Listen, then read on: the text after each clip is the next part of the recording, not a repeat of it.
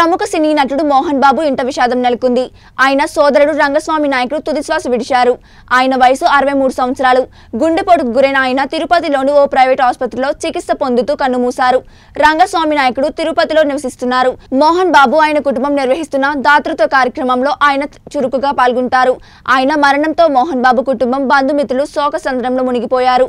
రేపు తిరుపతిలో ఆయన అంత్యక్రియలను నిర్వహిస్తున్నట్లు కుటుంబ సభ్యులు తెలిపారు.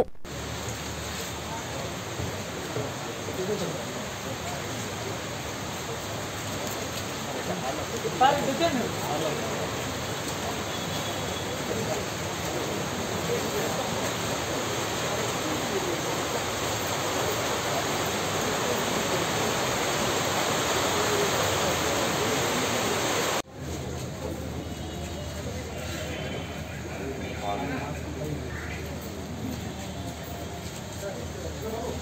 Thank you.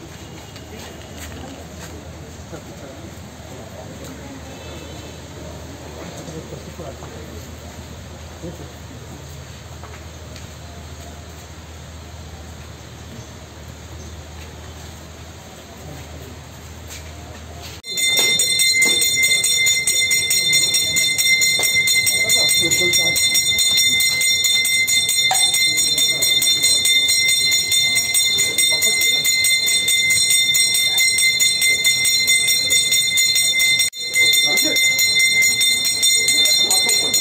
Nah, kunjung pakaran nah. Okay.